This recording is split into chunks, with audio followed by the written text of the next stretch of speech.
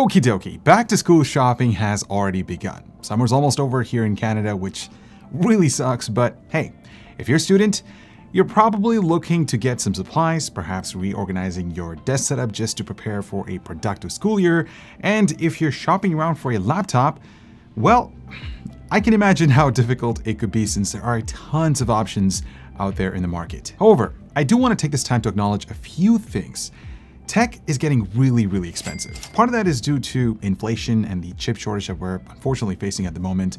So finding good laptops that cost less than $1,000 is becoming harder and harder. They're out there, but uh, just like everything else, they're getting more and more expensive. The other thing I need to mention are a few little pointers for laptop shopping. Number one is to avoid laptops with 8 gigabytes of RAM or less. Well, unless it's a Mac, but uh, more on that later. Also, 256 gigabytes of storage space probably won't be enough, especially not with a heavier operating system like Windows 11.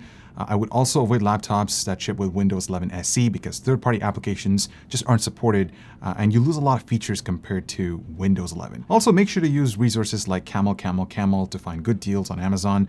I've actually done a separate video covering what to look for in a laptop, so you can check it out right over here or leave a link down in the description. Anyways, with that out of the way, in order to make the cut for this video, these devices need to fulfill five criterias. Availability, price, portability, battery life, and performance, or bang for buck. The remaining are just bonuses or value add-ons that come with each laptop. By the way, links to all of these laptops will be down in the description and I'm just gonna kick this off with the budget-friendly category that's less than $8,000 US. Our first pick is the Acer Swift 3. This is a similar version to the Swift X that we checked out not too long ago, but with a few exceptions. It only comes with integrated graphics and a 14-inch 16 by 9 Quad HD IPS display in a simple and minimalistic design, for $1,000, you get a 12th gen Core i7 1260p Alder Lake processor with 16 gigs of RAM and half a terabyte of storage. The port setup is also similar to the Swift X, which also includes Thunderbolt 4. So if you're building a desk setup with a docking station, a monitor, and other accessories, this can come in clutch. As for portability, the Z height is only 0.63 inches or 16 millimeters, which is a little bit thinner than the Swift X, but that's due to the lack of a discrete GPU. Battery life should also be similar, if not better than the Swift X, so expect around 11 to 12 hours on a single charge. Next up, we have the Lenovo IdeaPad 5 Pro. Now this one retails for around $850 right now, and the specs include a Ryzen 5 6600U CPU with 6 cores and 12 threads, 16 gigs of RAM, a terabyte of storage, and a 2.2K IPS touch display. I love the clean storm gray finish, guys. This whole chassis is made out of aluminum, so build quality is really good. The keyboard and trackpad inherit some of its DNA from the ThinkPad series. You also get a lot of ports, including full-size HDMI and a full-size SD card reader. Uh, and the Ryzen 5 CPU is a good balance of performance and efficiency, so expect really good battery life. We're talking up to 16 hours, which is awesome. As for size, it's only 0.63 inches thin, so it's similar to the Swift 3, and it weighs around 3.3 pounds, which is slightly heavier than Swift, but that's due to the sturdier aluminum construction. Now next up, we have something that's strictly geared towards performance for under $1,000. This is a great option if you're an engineering student or anyone who just would benefit from a discrete GPU. Meet the Acer Nitro 5, specifically the Best Buy exclusive variant. Now for $850, you get a Core i5-12500H with 16 threads, 16 gigs of RAM, half terabyte of storage, and an RTX 3050 Ti GPU that's powering a 1080p 144Hz IPS display. I will warn you that build quality is not the greatest since it's an all plastic construction that's also thicker coming in at 1.06 inches or 27 millimeters and it weighs around 5.5 pounds. So it's definitely bulkier than the IdeaPad and the Swift 3. But the real deal for this price is the performance.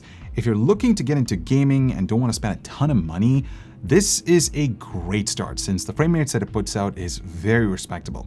On top of that, you can take advantage of GPU acceleration for apps that you may use for your courses. Now I do have some honorable mentions for this category. The first one is the HP Pavilion Aero 13. This, in my opinion, is still a rare gem for less than $1,000.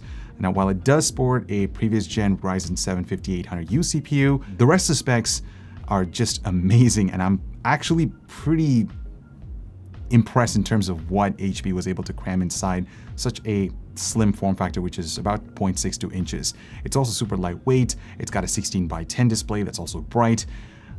You can't really go wrong with this machine, guys. The next laptop on my list is the Dell Inspiron 16 because it's got a massive 16-inch display, but be mindful that it's only a 250 nit panel, so not the brightest panels that you can find out there. Uh, the specs are pretty good for less than $1,000 because uh, you get a Core i7 CPU with 16 gigs of RAM and half a terabyte of storage. Oh, what a great day! Designed and miniaturized in Sweden, you can now nano and mini with the Meshify 2 and Define 7 series. Wow, everyone's been asking Fractal to complete the series for that iconic experience, just on a smaller package. Always capable in the right hands. Some might say these are cute, I say they're very classy. See you later. Alright, so our next segment is mid-range. So this is a combination of thin and light devices and gaming laptops that are priced at less than $1,500 US.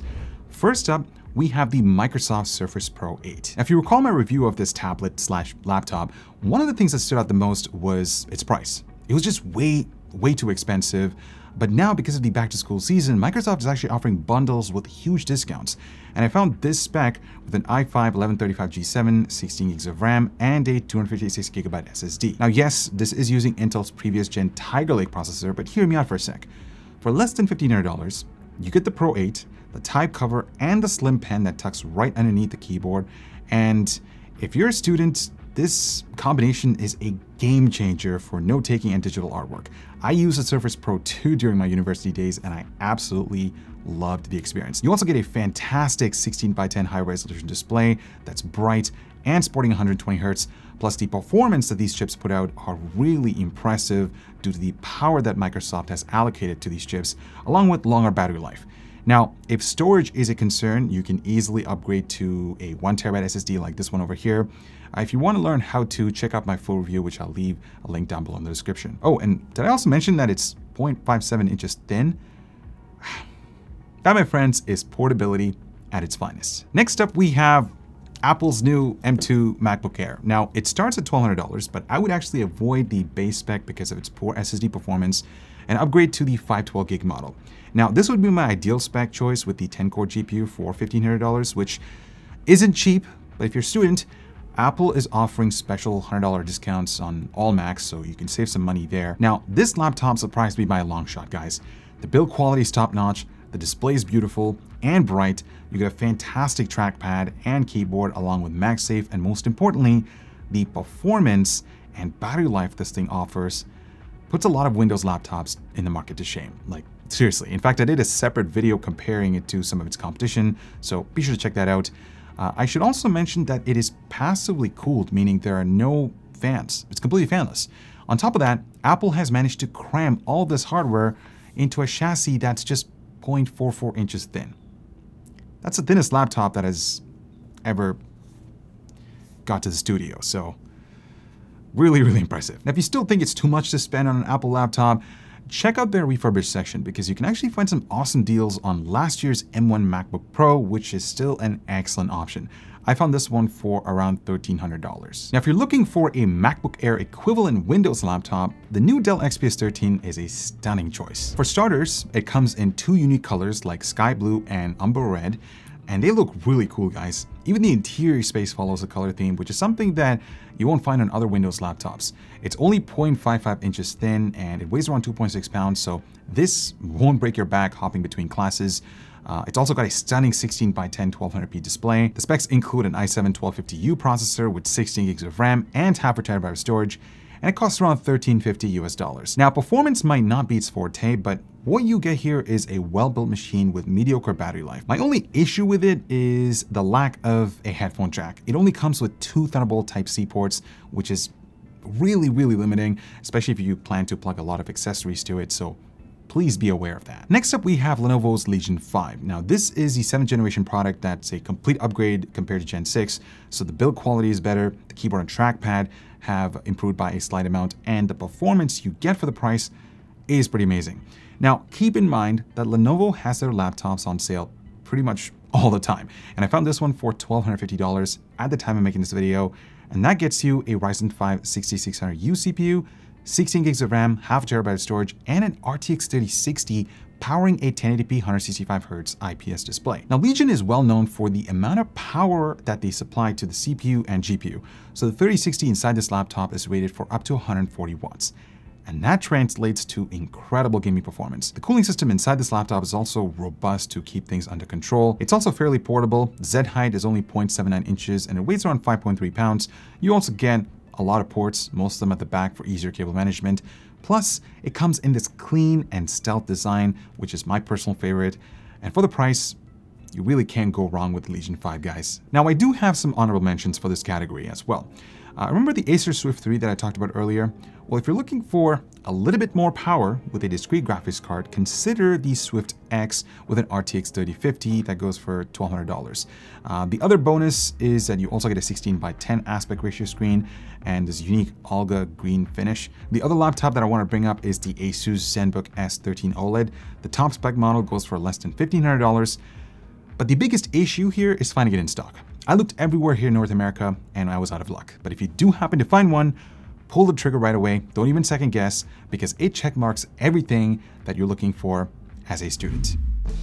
I am back to say the Nano has this really clever fan shroud to direct the airflow directly into the main chamber, while the Mini is all about reviving that whole Micro ATX form factor. So join the Nano Mini Club with the Meshify 2 and the Define 7 series, explore all the case options down below. I'm out for real this time.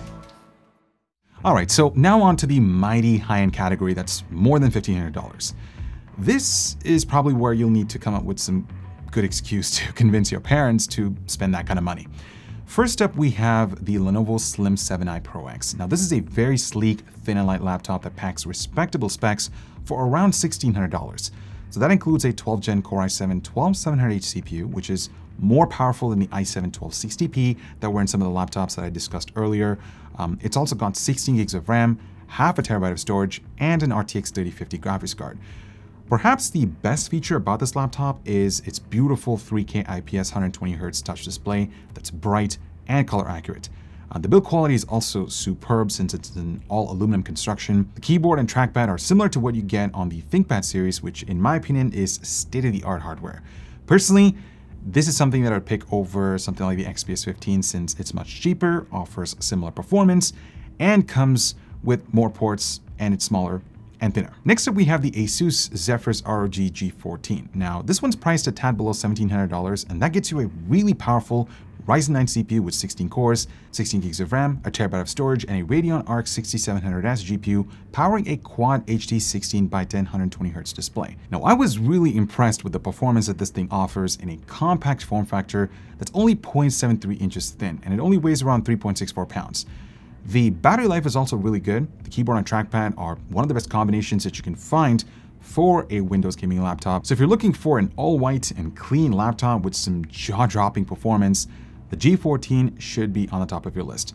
The only thing to look out for is that there are some QC issues that people have been reporting. Plus, if you're looking to edit videos on this thing, the AMD combination just, it won't really benefit you. You're much better off with something uh, with an NVIDIA graphics card. Now, if you're looking for a little bit more performance in a sleek package, check out the Legion 5 Pro. Now, this is one of my favorite gaming laptops that is priced appropriately. For $1,800, you get a Ryzen 7 CPU, 16 gigs of RAM, terabyte of storage, and an RTX 3070 GPU that's rated for 150 watts. And let me tell you, that makes it wicked fast. Not to mention, it has one of the best gaming displays that you can find uh, because it's bright, it has 165 Hz refresh rate, and it has a 16 by 10 aspect ratio. The keyboard is nicely defined, and you get all of this in a clean storm gray finish that blends in within any environment. It's essentially a Legion 5, but on steroids. Uh, now, the only thing to be aware of is its massive power adapter because the battery life is not the greatest considering the amount of power this thing draws. Okay, so last but not least, if you think about the best performance in a fairly thin form factor, the Razer Blade 15 is probably something that you'd consider. Heck, I would even too. But instead of spending over $3,000 on it, consider the ROG Zephyrus M16. Now, this laptop, in my opinion, is the best alternative to the Blade. Why? Well, it's over $1,000 cheaper while packing the same specs, but the best part is that ASUS feeds more power into the components that matches or in some cases beats the Blade. On top of that, you get a 16 by 10 aspect ratio display that's bright and covers a wider color gamut, a better keyboard and massive trackpad, and tons of ports, including full-size HDMI and Ethernet. It's slightly thicker than the Blade 15, but not by all that much, and it weighs about the same. So that pretty much concludes this roundup, guys. I hope this video simplifies your shopping process before classes begin. Now, if I've missed any laptops uh, in this video, feel free to chime in the comments down below. Let's have an open discussion and help each other out. And until next time, spend responsibly, my friends.